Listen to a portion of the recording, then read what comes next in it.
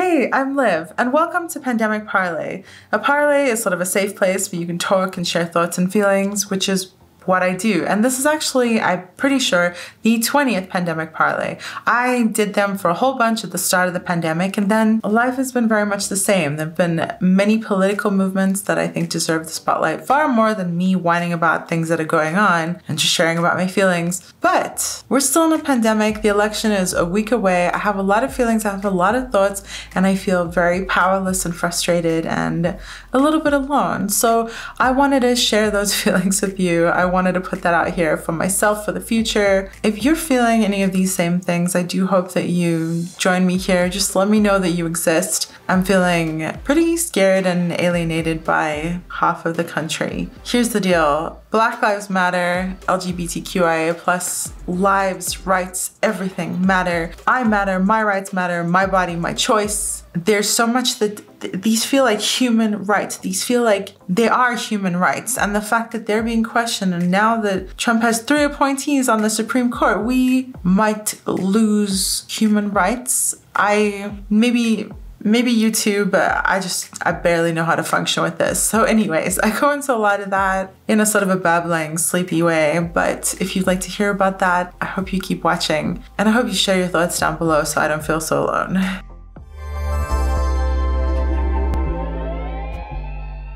Hello, everyone. It has been a very long time since I've done a pandemic parley. I think it was June. I think it was June that I last did one. Obviously, there was so much happening with the Black Lives Matter movement, and I just I didn't feel like my whiny little thoughts about going through the pandemic were necessary then. Not to say they're necessary ever, but and everyone deserves a space. Everyone deserves a space. I just didn't feel like talking about it that much. The world's been crazy, and here we are. I feel like there's so much to talk about at the same time, I have nothing to contribute because I'm just frustrated and I'm upset and I'm horrified and I feel like I have no control and there's nothing that I can do. And you know what? That means it's a it's a good opportunity to say these things because maybe maybe some of you feel the same way. My terrified fear is that some of you don't. And that's the problem is that it's one week until the election and I don't know how I can possibly deal with anyone who votes for and supports Trump. With Amy Barrett, with the way that Trump has handled COVID, with his dismissal of human life, with his promotion of the white man's successful man's agenda, with everything there's so much that I can't even say it in one breath. So there's no way I just I don't I don't know how to function everything about his existence and his presidency feels like it's been attacked on, feels like it's been an attack on everything. The victimized the underprivileged the marginalized. It's been a literal attack on on everyone I love and care about and myself included as a as a disabled immigrant woman. I think that the couple things that made me realize I should come do a pandemic parley was last night reading that Trump said, We're gonna get your husbands back to work to suburban women. There's so much wrong with that statement. There's so much wrong with the concept of assuming all women are heterosexual, women need to be taken care of, these women aren't working themselves, that they aren't the primary breadwinners of their family. There's there's so much wrong there and and I realize that there's that much wrong with the percentage of people who voted for him and that's how I don't know why I don't know how to function now. So I'll tell you this now. I've been married twice and I've never changed my name. I will not change my name. I don't belong to anyone. I understand it's a sweet tradition, tradition, or it might feel good. I understand that there's a lot about it that might feel nice, but I'm never gonna do it. I don't belong to anyone. This is my name. If I want another name, I'll pick one. I'm not taking yours. I love my husband so much and his last name is very nice. It's not got nothing to do with that. You understand me? By that same token, it's no one's job to take care of me. I have have to take care of myself. I have to provide for myself. If my partner is more successful than me, kudos to them. It's not their job, it's not an expectation. I understand that being able to say this also comes from a place of privilege. And I understand that there's so much that I'm gonna say that is privileged. And that's okay. I'm thankful to have the privilege to be able to not take my spouse's name. I'm thankful to live in a country where I can do that and be okay. I hope that we create a situation, that we create a world in which women don't have to do this anymore. And uh, if you are the person who says, I want to do it, how dare you?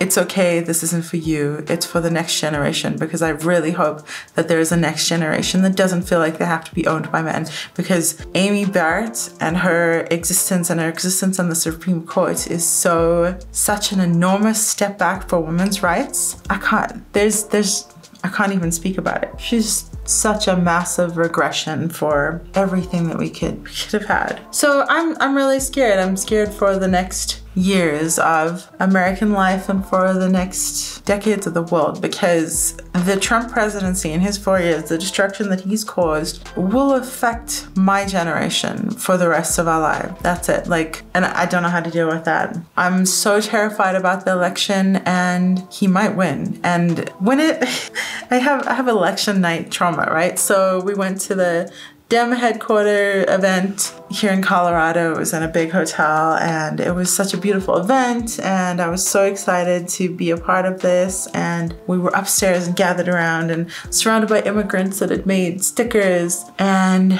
everyone was so happy and so excited for Hillary's win that was coming up and feeling like we finally had a woman. We finally had a qualified woman Anyways, whether you agree with me or not on that, that's fine. It's not fine, it's a moot point now. And I remember that absolute just crushing feeling as we saw what was happening, what was unfolding. And so I actually, I feel like I have, I have like trauma around it. I remember that. Uh, it was just, it was so horrific. Wow, I got makeup all over. I've actually taken election day and the day after off work this year because I remember, I remember going to work and just feeling horrified and alienated and scared that the people around me might be Trump supporters. And I had no idea that there were so many that existed, that this could possibly happen. And I just, and I felt like that for the next couple of years. And remember the very next night we went to the Capitol and protested. And I have a, an anxiety disorder and have difficulty performing or speaking publicly and everything like that. But I got up on the stairs in front of the Capitol and I spoke in front of, it, it was only maybe 50 or 100 people, but I did it because I was so horrified and felt so strongly about this. So I, I don't know what will happen if he wins, but I'll know I'll want to feel mobilized and it's very different in the pandemic, right? I'm personally not going to go down to the Capitol and and protest and speak. I want to protest with my money and protest with my time. And I, am sick of this. I have to have to feel like there's something I can do, and I don't feel like there's anything I can do at the same time. So here, this comes to a huge point of privilege and the fact that I did stop doing a lot of pandemic parleys because my life has been the same. I haven't gone physically into work since March this year, and I know that's so incredibly fortunate. And aside from a short furlough. I've had my job the whole time and I'm still working remotely. I'm gonna go work downstairs in, in 15 minutes. And I, am so privileged. I know, I know. And then I also feel like that's part of why I have to do this. If I'm one of the people that has the option to stay home, stay, I don't swear on this channel, but stay the fuck home. In the grand scheme of things, this is not hard. This is not much to suck up. Stop traveling. Stop having parties with groups of people. Do what you can to take care of your mental health safely, but stay the fuck home. Because cases are rising again in Colorado and they've had to move up to a higher level again, I think three level three, whatever. We don't want to be in the place where we're on mandated closures because then people's jobs and businesses suffer. Can we all just behave? So I haven't, I haven't really, I haven't left. I haven't left since June. I've gone out to the park for things. I ate outside one time since March at a restaurant because it was freezing. We actually went to get ice cream and it was blowing wind and freezing. So the restaurant had like heat lamps. So we ate at an outdoor picnic table there and that was it. I did it one time and you know what? I didn't have to.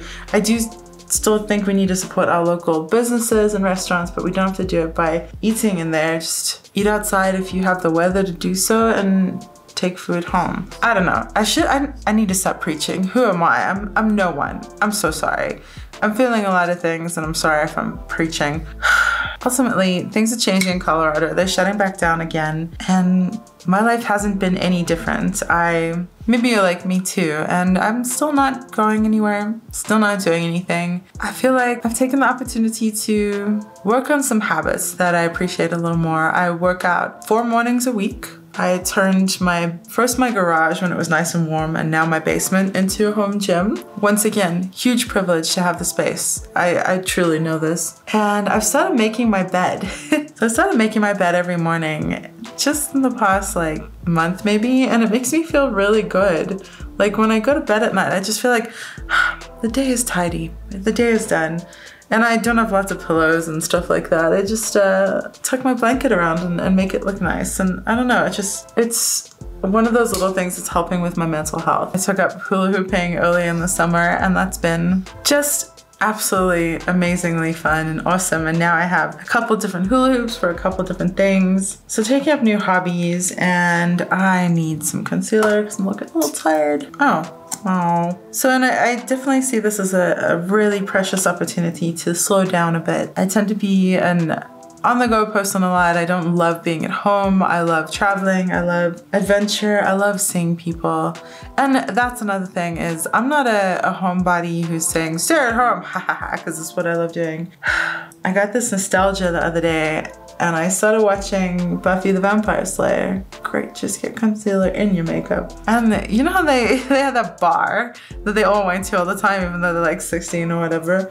Uh, and there's always those amazing grungy bands playing, and I missed that. I missed meeting people hanging out with friends slash strangers slash anybody at a grungy bar where the floor is sticky and someone bumps into you in a leather jacket. And you just I, I do. I miss that. I miss that. I mean one of the things I was most excited for this year was to spend my birthday in New Orleans we spent Patrick's birthday in New Orleans a couple of years ago, and this was finally my Saturday birthday. You know what I mean? The the birthday that falls on a Saturday. And they have a really fun tradition there. Tradition or tourist tradition, not sure, but I know they're different. So uh, and one of the great joys about that is shambling around the streets and sliding into a random bar that looks amazing and hearing jazz singers and hugging strangers and making best friends and and uh, getting up close and personal with lots of strangers. I miss that so much. That's sounds sounds weird uh, or gross perhaps, but that's one of the things I really miss. What are we doing? Do we like this? I think we need it a little darker. Try something else. So if you are interested, I'm largely using Depotted Juvia's Place. And there's this brand called Copacetic Cosmetics that I've recently discovered and they're very nice. They have a subscription box and this was their September subscription box. So yeah, the Juvia's Place Tribe palette and that stuff is pretty much depotted in here if you care.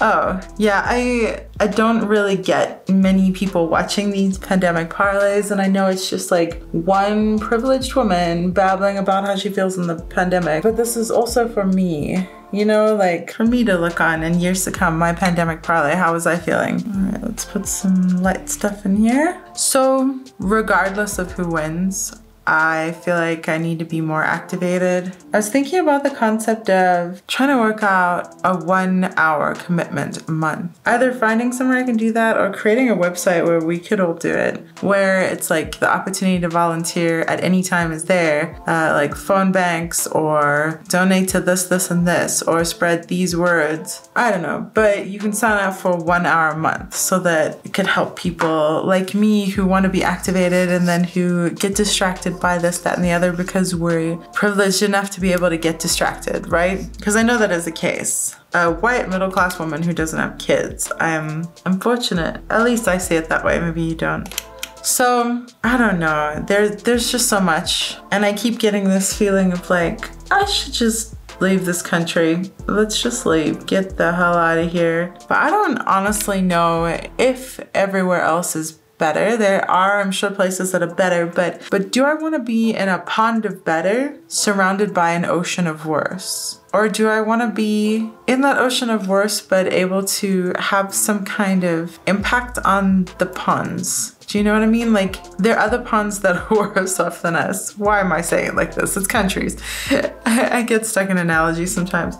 So there are other places that are very, very bad, and America can sometimes, sometimes set the tone because we control a lot of the media that the rest of the world sees here. You know what I mean? Like, in any of the first world countries control the tone, and that's why part of why Trump is so destructive is that his tone and the things that he's saying is okay has potentially damaged generations of people. Definitely the impact of the three people that he's picked for the Supreme Court has damaged generations. So I saw a thing about uh, expand the Supreme Court, have more seats. What do you guys think of that? Like I wonder if will it dilute the power of people and then also what if they get more seats? What if it becomes more Republican conservatives? Why can't we just have an even spread? I mean, I know it has to be representative of this country, but the country seems to be generally an even spread. It can't truly just be like who's in office when someone dies. Like, that's just insane. And you know, RBG was holding on for dear life. Like, she knew, Jesus. The system is so screwed up, and here's the deal the system is super screwed up. Now is not the point to argue that. Like, now is the point to vote. We have to vote. You can't do anything about the two party system right now. We have to do what we can to fight it so that the next election, maybe there's something else, right? And that's that's stuff I want to work on too. How do we fight this? How do we make everything better? How do we make this all more just? Because waiting until the election comes to make a point by not voting or penciling in a vote or, or voting for a third party, at this point, it's not serving a purpose other than for how you feel. It's doing the country a disservice. It is. Oh my God, I've been talking so long and I have to go. Let's do this quickly. I haven't done my makeup on camera in a long, long time, like just like this uh, in a really long time. And I realized there's so many amazing creators and I watch some people that are incredibly talented and I do think I have some talent with makeup, but I don't uh, I don't have their talent and I don't know if I have the interest in developing it to that level. So there are some truly incredible people and I feel weird doing a tutorial or anything. I'm just live. I just I put on makeup because I like colorful stuff and I like painting my face and it feels good and I feel good. So ever since George Floyd and the Black Lives Matter movement was given space. I placed the names of black creators that I enjoy and care about down below. I don't know if this is comes across well or whatever and I hope people take it in that these are people that I truly enjoy and care about and I feel like if the black community has been sabotaged and handicapped by the government and white power and everything then any little thing that we can do to lift them up anything we can do to lift them up is is a good thing so that's that's all I'm trying to do and I want to keep that there and hopefully it's received in the way it's intended is lifting up some creators that I care about and if you are a person of color and a YouTube creator and please let me know and I can include you in this list and, and hopefully the two people who look at my videos will notice your name there and, and go look at your stuff. And uh, speaking of which, please go look at the people that I have included there. Um, there are some truly incredible artists. And actually the person I'm thinking of is Chip Gray. She's, I collabed with her last year when I just started my YouTube channel. She's an incredible creator, a woman of color, and she, she's so talented. And she just had a baby and then she's popping out popped out a baby and she's popping out these looks on Instagram that are like, oh man, I need to step back. Just never mind. Let me just go put on my makeup and go about my day. Like she's so good. So Chip O'Grey, she's down in the description box and also on Instagram. Just wow. Wow, wow. Wow, wow, wee wow. Has anyone watched Borat 2? I, I know I have some issues with Sacha Baron Cohen and his execution and potentially taking advantage of people and, and all that, but I also thought that Borat 2 was brilliant. And it, if you are feeling a lack of power in the political situation, watching him attack some shitty people feels pretty good. So So go do that. Side note, this is a floss highlighter that I got in a subscription box and it's actually a cream. And I love this and it makes me feel really good. Look at that, look at that and I have to go to work. So we're gonna finish this up while I'm finishing up my makeup. Please take everything I say with the knowledge that I'm just a normal person. Black Lives Matter. The LGBTQIA plus community deserves the same rights as everyone else. We all deserve to have control of our bodies. Our bodies, our choice. You don't get to control my body. We don't get to control anyone's bodies. And just because I say that doesn't mean you get to do anything you want. You can do what you want with your body, not anyone else's. Okay, all right, I'm late for work. We're gonna zoom out and finish this up. Okay, that's it. This is the finished look. I feel pretty good, but I also just feel sore and stressed inside and there's nothing I can do about it other than the therapy that I do, make my bed, put on makeup, work out, donate, Planned Parenthood, ACLU, every political candidate that's a cool, amazing liberal Democrat. You got people I should support, let me know down below. If you have causes that you're passionate about, let me know down below. As long as they're in line with the stuff that I was talking about because supporting hate has no place here. Let's create a safe space. Anyways, thanks so much for hanging out with me. I hope some of what I said was coherent. It's really just me babbling about my feelings. Feel free to babble about your feelings too. Stuff is crazy. In one week, we're gonna know how the next four years are gonna go, but regardless, we need to be activated and make some change. Wherever you are, I hope you're having the best day that you possibly can. Be kind to the people around you, and thanks for hanging out.